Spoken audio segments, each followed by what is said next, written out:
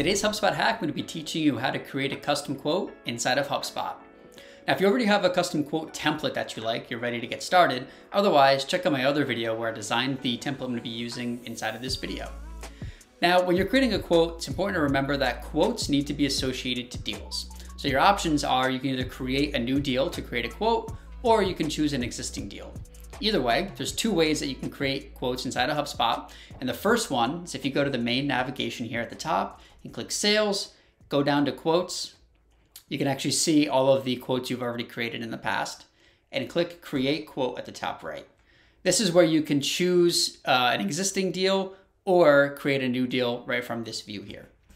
The other way that you can do it is if you go into your deal pipeline, you can choose the deal that you want to create a quote for and on the right hand side, you have your contacts and companies associations like you're used to seeing.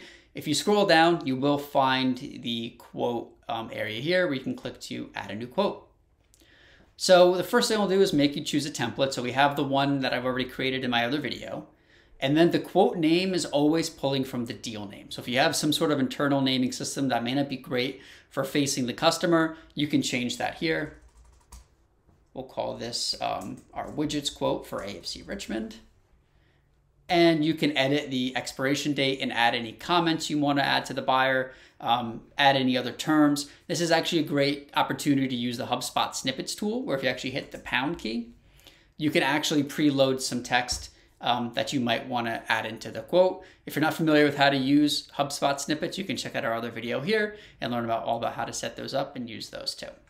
Let me get rid of the terms here uh, we'll go over to our next page where we're looking at the buyer information. So these are the contacts that are associated to the deal. So you see we have Ted Lasso with AFC Richmond. This is who our quote's gonna go to and what's gonna appear in the top banner here.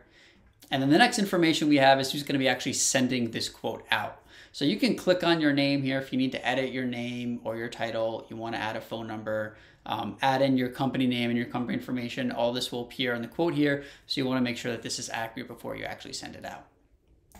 Clicking next, this is where you'll actually add the different products or services that you're offering to your client. If you're not familiar with how to set up products inside of HubSpot, check out our other video and you'll learn how to set that up um, in no time. Otherwise, you can choose to create a product from scratch here, or you can choose to select from your product library. So I have our um, couple different products. We have our widgets and our widget subscription. So if I add them both, you're gonna see a little bit of a difference here. Um, one is just a one-time bill. They're only going to get billed one time for it. The other one is showing that is a monthly fee.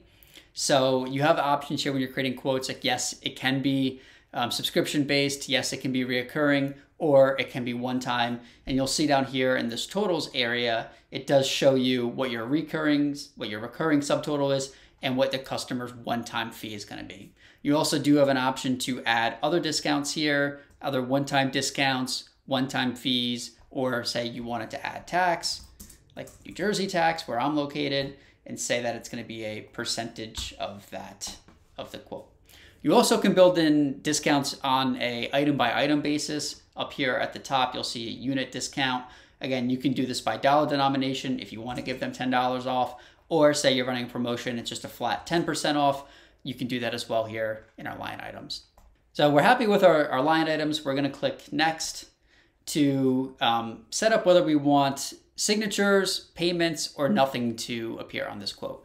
So um, if you want to use it for e-signature, you can click that here and choose if you have multiple people on this quote, which one's going to be required for signing it.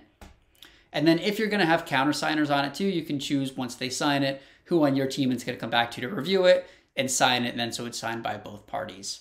Um, the other option is you can also, if you're using HubSpot payments or the Stripe integration, set this up to accept payments for you directly inside of HubSpot.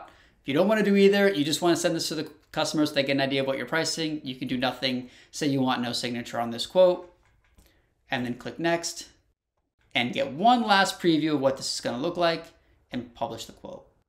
So it does generate it as a web page, so you can copy the URL here, you can paste it in an email, I can throw this um, in an email. You can preview exactly here what it's going to look like. And if you or the customer do want to download it or print it out, that option is there for them.